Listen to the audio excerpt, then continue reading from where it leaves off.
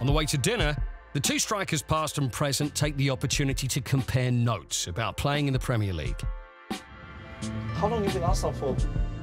I stayed out of in 99, left in 2007. When I was 99, yeah, that was six years old. You were six?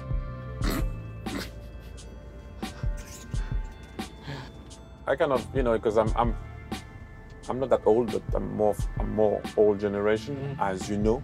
The dressing room that I played with, or in, winning, losing, draw, after a game, we were always arguing. We were always arguing, almost close to fights. Always. Even oh yeah, even when we were winning. So I just imagine losing. It was always very close to a fight. I remember last season when we played against Leicester away. You remember when Vardy scored the the the chip, you know, when Oh yes. you remember this game? Yeah, yeah. I think we were first half 2 0 down. And then of course we are 2 0 down and then Harry came to he threw to water water bottle to the floor and shouting, of course, because we are lo- losing. Yeah, yeah, yeah, of course, normal. It could have been 6 0 and, and 6 0 and, and we conceded a goal. And Okay. Jens Lehmann was coming in the dressing room.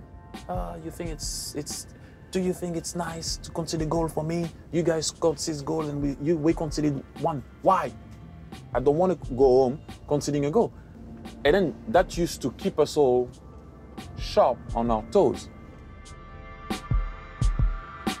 For the Premier League is It's different, eh? Yeah. See, even with the Bundesliga as well, yeah? Look how they play, you know. It's different. The speed. So quick, eh? So quick. The Champions League for me starts in the qualifying. When you when you play teams of that caliber, the Champions League, then with Yeah. any mistake, You can't, you can't you pay Yeah, the price. they don't know the mistakes. The battle is just, just people motivate extra, you know, because because of the Champions League, you know. For example, when I went to Barcelona, those guys already won Champions Leagues.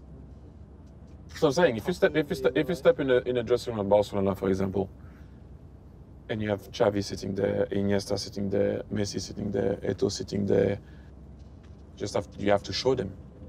Can't tell them anything. Yeah, that's true. You cannot tell them answer. anything.